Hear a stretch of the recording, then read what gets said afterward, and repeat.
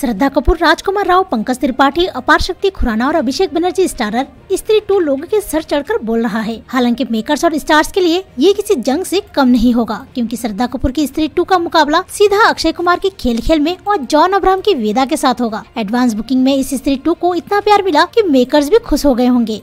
Film ने release से पहले ही करोड़ों रुपए कमा लिए हैं। लेकिन क्या आप जानते हैं कि श्रद्धा और राजकुमार राव को इस फ़िल्म के लिए कितना पैसा मिला और इस फ़िल्म की बजट कितना है? फ़िल्म स्त्री टू के लिए श्रद्धा कपूर को करीब पाँच करोड़ रुपए मिले हैं, लेकिन राजकुमार राव थोड़े से आगे निकल गए। उनको फ़िल्म के लिए छह करोड़ रुपए मिले हैं। पहली फ़िल्म में स्त्री ने तो तहलका मचा दिया था। उस वक्त तीस करोड़ रुपए लगाकर मेकर्स ने एक ऐसा जादू कर दिखाया था कि जिसकी किसी ने कल्पना भी नहीं की थी। और अब अब तो बजट दोगुना हो गया है। साठ करोड़ रुपए। यानी इस बार तो कुछ और ही धमाका होने वाला है। पिछली बार जितना कमाया था, उससे तो कहीं ज़्यादा कमाने की तैयारी है। सोचिए, पहली फ़िल्म की दुनिया भर में एक सौ बयासी करोड़ रुपए कमाए थे, अब तो ये आंकड़ा और भी ऊँचा जाएगा। तो तैयार हो जाइए डर और कॉमेडी का मज़ा साथ में लेने के लिए। ऐसी ही मूवी न्यूज़ अपडेट करने के लिए मूवी मसाला को सब्सक्राइब करें।